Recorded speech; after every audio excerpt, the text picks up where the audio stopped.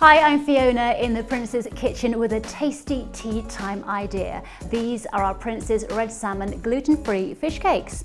So first of all, I have peeled and cooked and drained my potatoes. I'm going to mash these with some seasoning. We are going to add an egg yolk and what this will do is this will bind the mix together.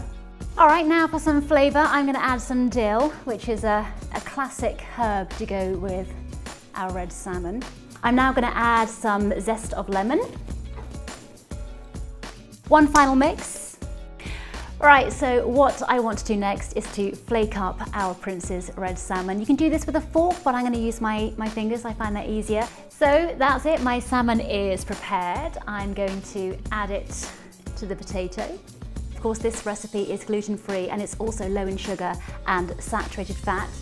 Take about a sixth and roll it into a ball and then just cover it with the gluten-free plain flour.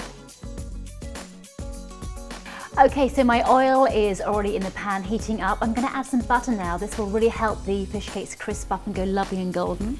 I think about a minute and a half on both sides. Carry on, basically do all six, and then that's it. You're ready to plate up. Tea on the table in less than 20 minutes. It's quick and easy and uh, it's pretty good on the purse strings too so you need never buy fish cakes from the shop ever again.